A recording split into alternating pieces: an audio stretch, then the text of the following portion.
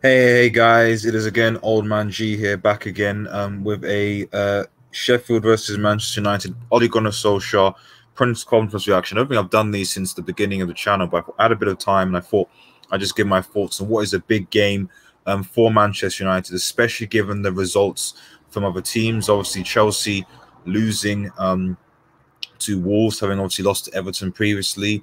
City obviously dropping points as well um, against West Brom, and then obviously uh, we're, playing on Thursday. We've got other teams playing today: Spurs versus Liverpool. One of those teams is going to drop points, if maybe even both, um, and so on. So, and Leicester obviously playing against Everton. So, a lot of big games I think uh, today that are going to really have an impact, and and it's really an opportunity for Manchester United to go at the Sheffield United team with confidence, with zest, um, to actually win this game and put us in a strong position um, in the league. You know, so without further I'm just going to just quickly just react because we've got our um, Red Gunners podcast coming at half past two. So just a few questions Ole Gunnar Solskjaer was asked on the first transfer. So he was asked here, obviously, about um, Dean Henderson and whether you could talk us about how much he's benefited from his two years. He's been at Sheffield, uh, one in the Premier League. Um, presumably in, in being in, in, trying to insinuate, you know, this whole thing between De Gea and uh, and Dean Henderson.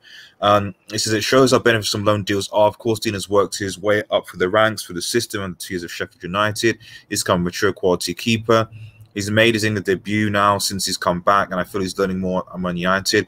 Our players were different. We have a couple of different demands of him, obviously, but we're grateful Sheffield United Chris Wilder for giving him the chance to develop as they did, um, and that is the case. And he's and you can certainly see with what's happening at Sheffield United how, they, from what I can see, they appear to be suffering as a result.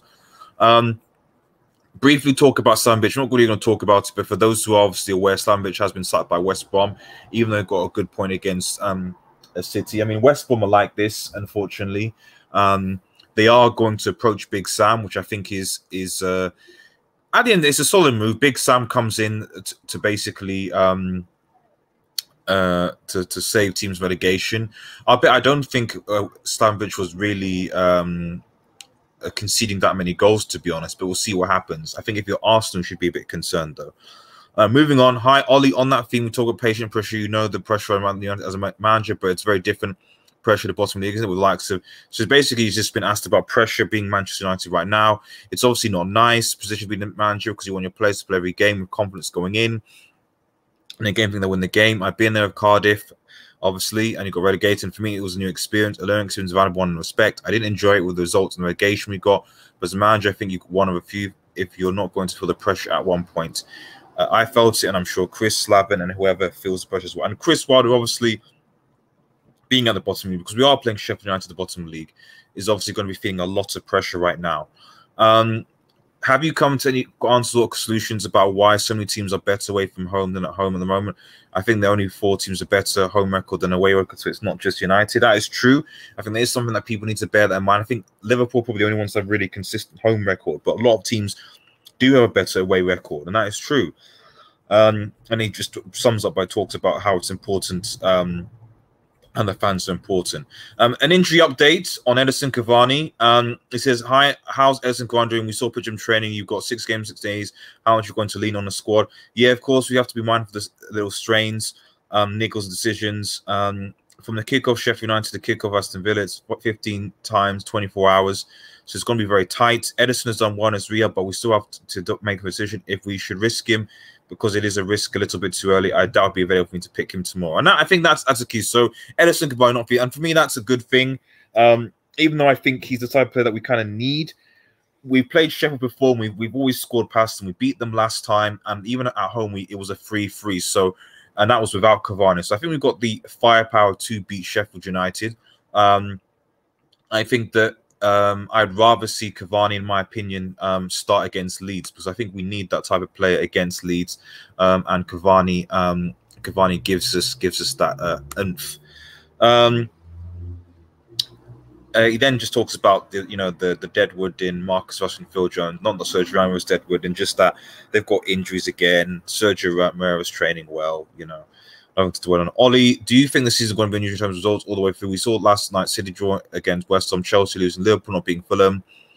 Hashtag, do you think every game is going to get harder than normally would be and we're getting shock results? and he just talks about how this is just the nature of the Premier League. Um, you've got to play 100% all the time against top teams, and especially tight against the small teams as well. Um, and it just talks about on the Sheffield United. I'm going to really touch on that. Uh, Ollie, it was another slight change in shape against Man City. I'd you you've got you've uh, used a diamond formation three at the back, four at the back. How do you feel players didn't so they've been asked to play? What was the change in formation? Uh, you tell me, see see see if you got it. So I think he was a bit frustrated about with that question, and he says, um, Pogba on the left hand side of Simon, he's not really played there too much recently.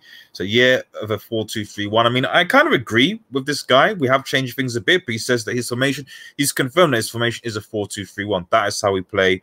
Coming to the puck is probably Pogba's save position. I think he did well.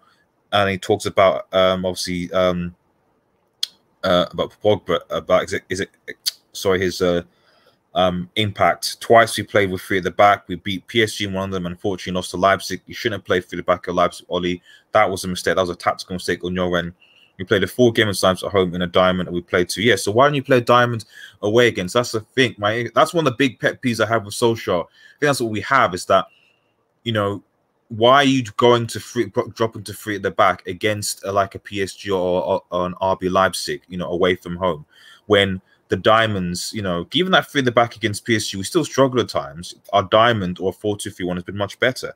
Um, it is what it is. Um, so that's that's the general gist of it. Like overall, like I mean, um, there's not really much to, to, uh, to, I would say to take from that, you know, other than um, well, the big really things was just that we know what our formation is apparently, and Cavani won't be available.